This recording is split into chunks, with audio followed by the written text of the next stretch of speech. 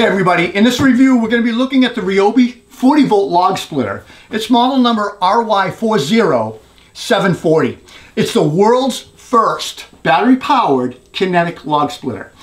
In this tool review we're going to discuss the pros and the cons of the log splitter and because uh, we tested it out extensively. But overall, this tool is an outstanding option for homeowners. Compact, portable, requires far less maintenance than traditional log splitters. Additionally, it splits wood faster than a hydraulic log splitter and it's more productive. Before I get into the review, let's talk quickly about some of the specs. It's, it's uh, got a splitting force of 12 tons, two second cycle time. It's got a maximum log diameter of 10 inches, length 20 inches, weighs 177 pounds, and has a five year limited warranty. So how does it work? Did we like it? Well, electric log splitters They've been commercially available for decades. Farmers and mad scientists mechanics have been building them in their barns for even longer. However, the 40 volt HP splitter, it's the first machine to feature a dedicated battery powered system.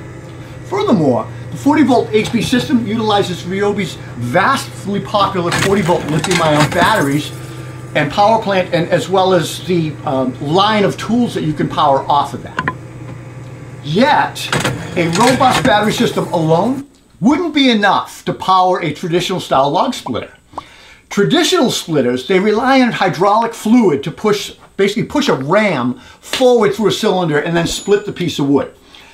This is a slower process and it requires a great deal of power and very strong pump to accomplish.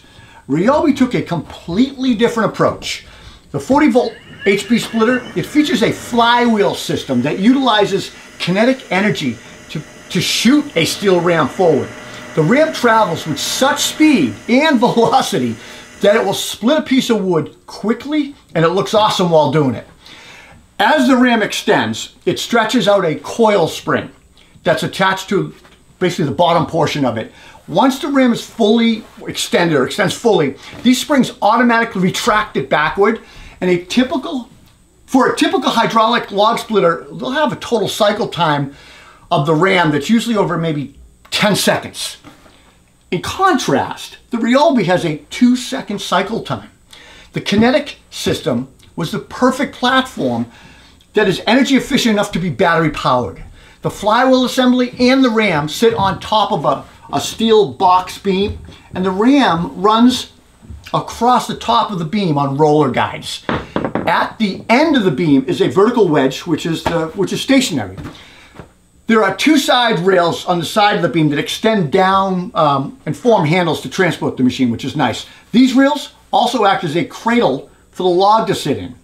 The kinetic log splitters, they're not new, right? It's not a new concept. They've been long been praised for having a fast cycle time, for being lighter, more portable, and being durable and reliable.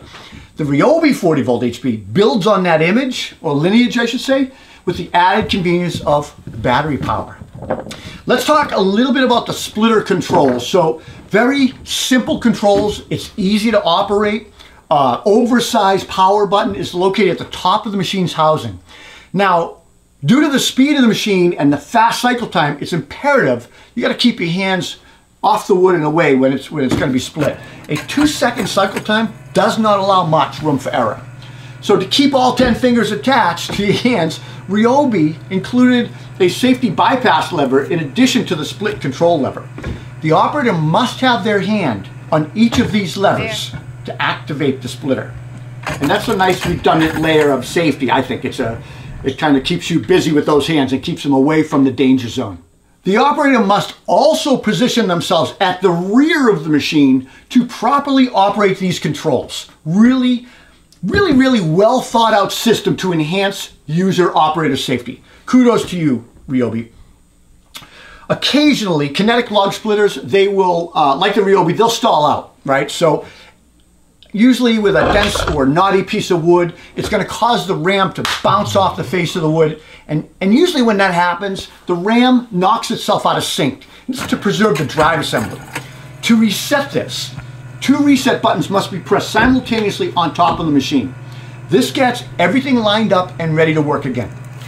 Now, we I mentioned splitting capability earlier on quickly. Um, Ryobi There. basically rates the 40 volt HP splitter for wood with a maximum width of 10 inches and maximum length of 20 inches. 10 by 20.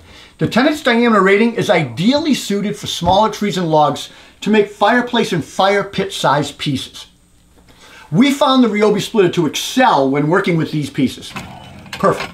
However, we also wanted to push it to its limits, right? We wanted to test this. We often receive deliveries of tree service wood from an arborist friend of ours. So these loads often contain oversized pieces from takedown work. During the Ryobi testing period, we worked with large 28 diameter ash logs.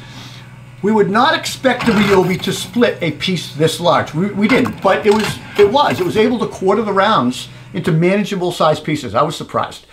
Ryobi is fully capable of splitting 10, more than 10 inches. However, it often needs more than one hit to do it. So think of this. Think of, you know, you got a boxer and, you know, you got a one-two punch combo where the first punch stuns the opponent, second punch is a knockout punch. You just need to do that. Sometimes you need to do that sometimes with your, uh, your concrete nailer too. When the nail doesn't set, you hit it again with another charge and set the nail. We also use the Ryobi in a variety of wood species, we, including uh, maple, oak, and hickory.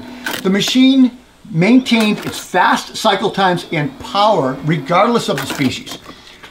We would strongly recommend reading the wood, right? Read your piece of wood that you're going to be splitting. What I mean by that is examine that grain structure, look for knots, uh, rotate the wood, or work it in such a way that, you know, work your way around the knots and that way the splitter is less likely to stall and the operator will be able to split more efficiently with fewer interruptions. I'd like to move on to runtime. The Ryobi splitter is available as a kit with a single 4.0 amp hour battery and charger.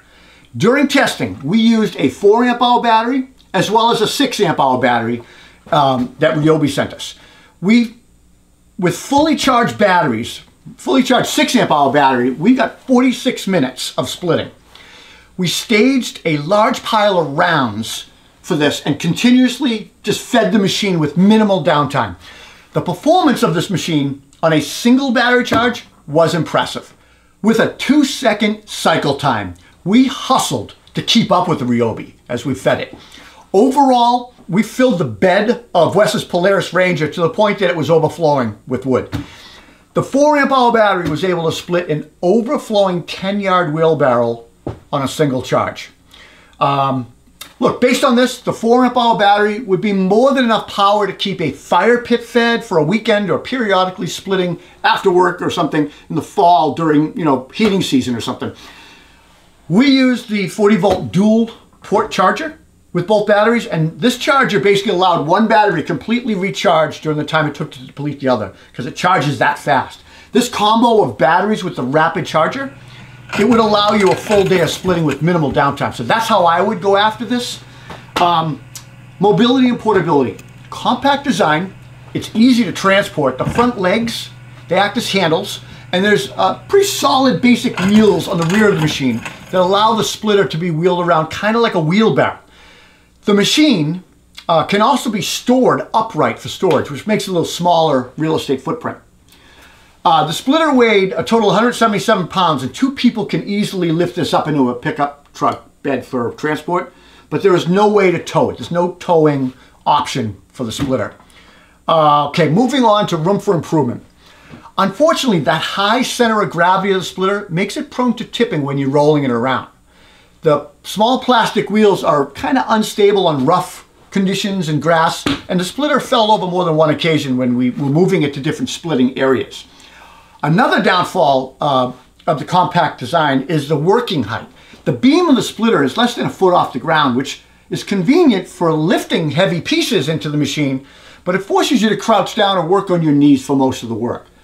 Using the machine for extended periods of time, it's going to fatigue your back or your legs. So to alleviate this, we suggest maybe positioning the splitter on a platform or a cart. Uh, Wes plans to mill a large log to, kind of in half to make a pedestal for his splitter. And uh, his back is already thanking him, I'm sure of that.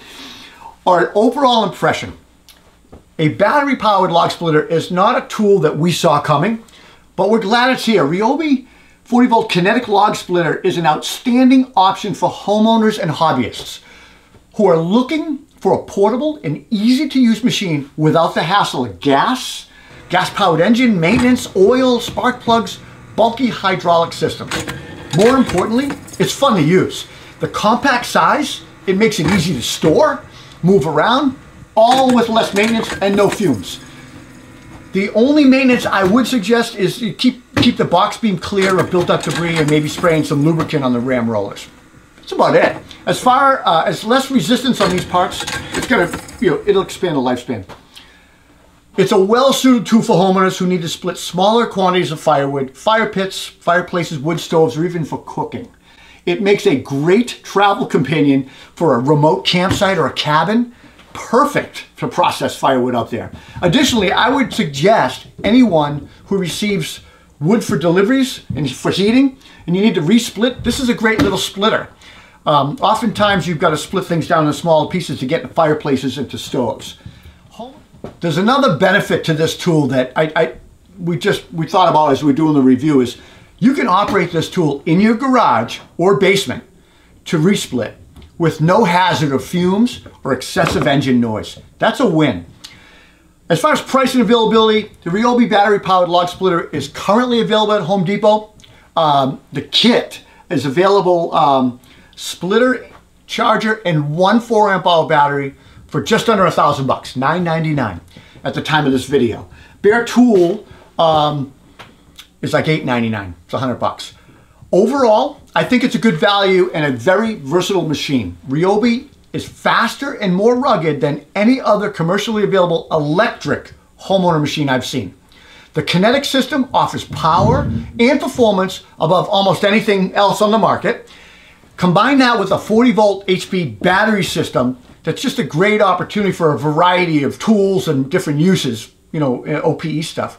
We recommend this option to anyone who doesn't want to deal with a gas splitter. It's just a win that way. And like I said, it's faster and more, potentially more productive than a hydraulic splitter for the same price. Guys, I hope you enjoyed this video. We had a ball doing it. We had no expectations of this coming out on the market and we were really curious when we saw it. Um, so we had fun testing this. If you liked the video, please give me a thumbs up, leave a comment. Love hearing from you guys. And please subscribe to the channel and hit the bell right there um, so you don't miss any future content. I'm Rob Robillard. We'll see you at the next video. Take care.